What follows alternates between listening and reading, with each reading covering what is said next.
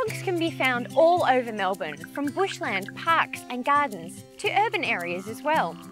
Frogs perform a range of useful services like pest control, but they can be sensitive to changes in the environment from things like habitat loss, pollution and drought. Melbourne Water works together with citizen scientists to monitor frog populations and to keep track of the health of our waterways and ecosystems. This video is to show you how easy it is to get involved in the frog census. Using your smartphone, you can download Melbourne Water's Frog Census app and become a citizen scientist. The data that you collect through the app will help to manage Melbourne's frog populations and raise awareness of waterway issues. The Frog Census app allows you to submit recordings of frog calls. Frogs are often well camouflaged, so recording calls is a reliable way to monitor frogs and identify the species present without having to see them.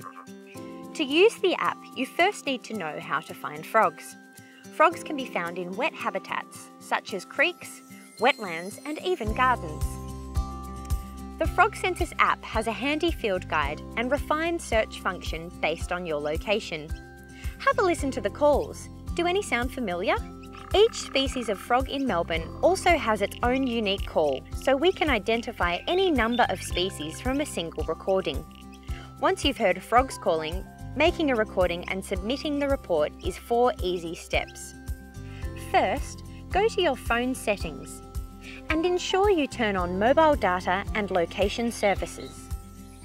On the home screen of the app, press the red record icon and record the frog calls via your phone's microphone for between 1 and 5 minutes. Try to avoid places with too much background noise. Once you're happy you've recorded all the species you've heard, press stop. The second step is to take a photo of the site to show others the habitat you recorded your frogs in. The third step is to tell us where you heard the frogs. You can do this by either selecting it from a map or using your current location. Don't forget, you need mobile data and location services activated. The final step is to tell us what frogs you think you heard and enter the species and number. If you don't know what species you heard, no need to worry, our expert ecologists will verify for you. Now you're ready to submit your report. Your report will now appear on the map function of the Frog Census app. The report will initially appear as a black and white frog icon. However, it will turn green when our expert ecologists confirm your report. You can also explore the hundreds of other frog reports made across Melbourne and find out what species are being reported near you. You can also go back and view your reports at any time. Thank you. You've now joined the hundreds of other citizen scientists helping Melbourne Water to understand and protect the frog populations of Melbourne.